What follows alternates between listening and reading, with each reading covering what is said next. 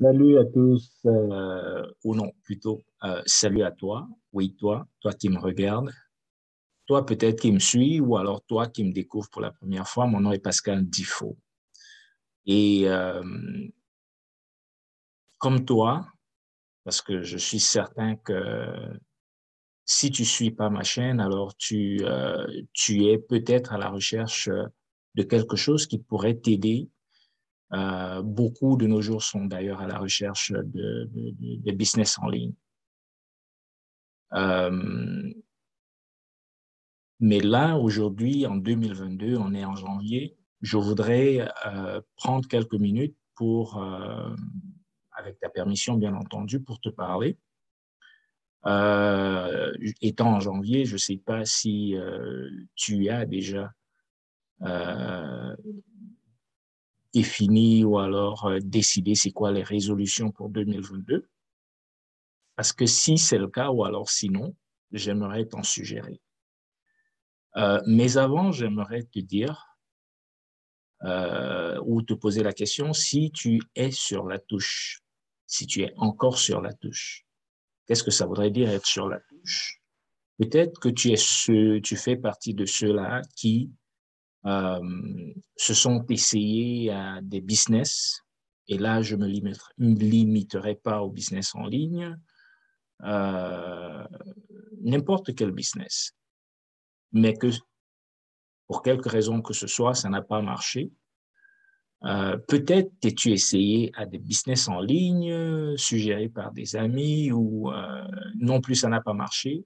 La raison pourrait être, des raisons pourraient être multiples. Ça pourrait être des arnaques, ça pourrait simplement être des business qui n'ont pas marché parce que vois-tu, euh, vois-tu euh, sur 10 business qui se lancent en début d'année, à peine 3 arrivent à la troisième année. Donc, si jamais tu as, tu t'es essayé à des business, que ce soit des business en ligne, que ce soit des business de réseau, que ce soit des business réel dans la vraie vie, une plantation, un, petit shop ou une boutique, et que ça n'a pas marché, ce n'est pas la raison pour que tu continues de rester sur la touche. Il est de plus en plus évident que euh, au 21e siècle, une famille ne saurait survivre sur un seul salaire. C'est d'ailleurs la raison pour laquelle de plus en plus de familles ou alors de personnes essayent de se trouver une source de revenus supplémentaires pour ajouter à ce que leur apporte déjà leur salaire. Et d'autres d'ailleurs arrivent à trouver leur compte en abandonnant simplement le, euh, le, le, le, boulot, donc euh, le fait de travailler pour quelqu'un pour se mettre à leur propre compte. Parce qu'il s'avère que euh, quand on sait s'y prendre, on peut effectivement euh, se faire une carrière en travailleur autonome. Ce dont je veux te parler aujourd'hui, ce serait euh, en éducation. Une éducation bien particulière, une éducation sur les crypto-monnaies, la blockchain et tout ce qui est digital. Euh, J'aime rappeler aux uns et aux autres que nous sommes nés avec les monnaies fiduciaires dans les mains. Les monnaies fiduciaires, au cas où tu le connais, tu le saurais pas, ben, c'est la monnaie que nous utilisons tous les jours. Nous sommes nés avec la monnaie fiduciaire dans la main. On a appris à compter dès le bas âge et euh, on n'a pas eu besoin d'apprendre longtemps pour savoir exactement comment utiliser l'argent ce ne sera pas le cas avec les crypto-monnaies parce que c'est une monnaie qui, euh, qui est connectée à la technologie. Et la technologie, malheureusement, particulièrement pour ceux qui ne sont pas nés dedans, comme les, euh, les nés après les années 2000 ou 2010, peut être un très gros challenge, particulièrement en ce qui concerne justement les crypto-monnaies et la technologie sur lesquelles elles sont adossées, à savoir la blockchain. il est hyper important que tu te formes, que tu t'éduques. Il y a suffisamment de ressources sur Internet. Éduque-toi. Ne laisse pas le fait d'avoir été arnaqué euh, une fois, deux fois, trois fois, euh, de t'empêcher de participer à cette nouvelle économie qui, que l'on le veuille ou non, va avoir sa place. Éduque-toi. Internet est plein de ressources. YouTube, Google, et même des plateformes euh, très, euh, très spécifiques. Binance, par exemple, a une très bonne euh, bibliothèque sur laquelle tu peux t'éduquer en ce qui concerne les, les crypto-monnaies et la blockchain. Et puis après l'éducation, même s'il arrivait que tu rejoignes des projets et qui ne marchent pas comme tu le souhaites ou alors que tu perdes de l'argent, il y a une chose que tu ne perdras jamais, ce sont les connaissances que tu auras acquises. Si tu as une seule résolution cette année, je te suggère que ce soit celle-là. Tu ne le regretteras pas. Moins de 3% de la population mondiale est actuellement ou alors a des connaissances sur les crypto-monnaies.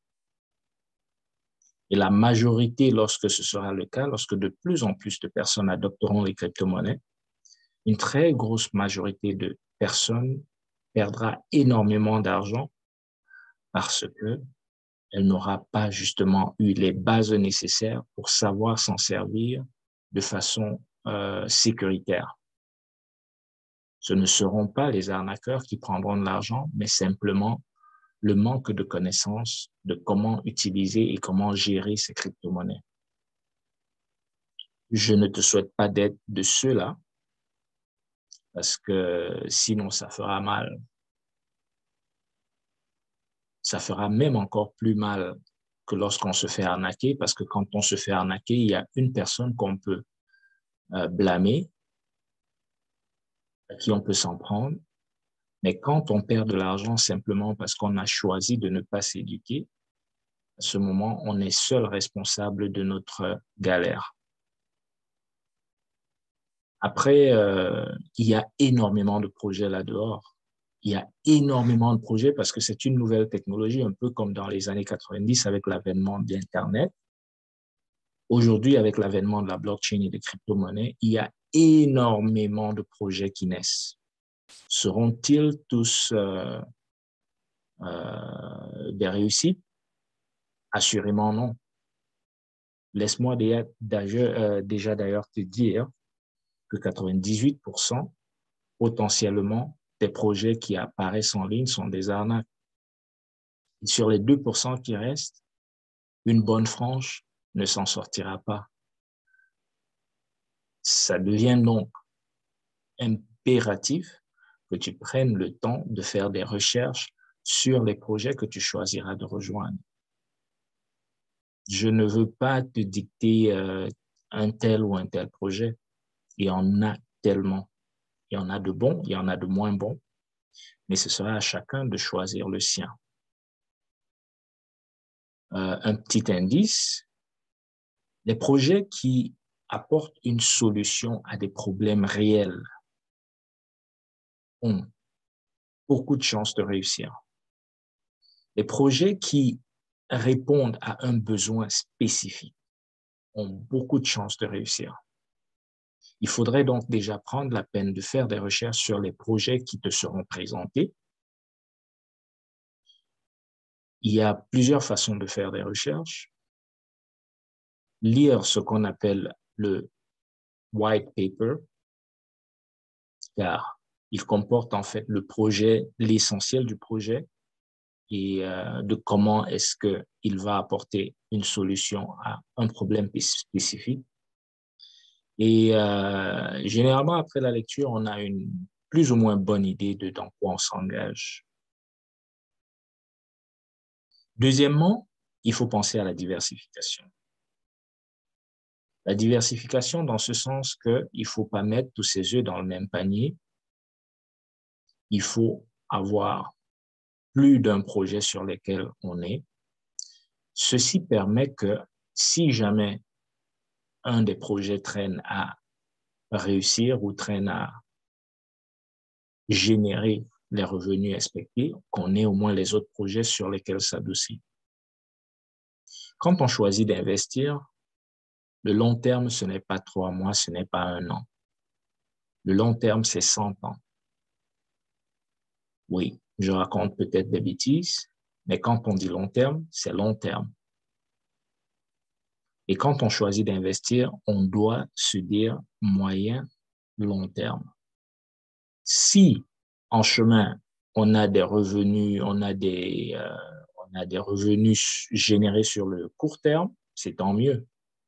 Mais il ne faut pas que le fait que euh, tu te retrouves à attendre six mois, un an, deux ans pour que le projet d'école devienne un problème.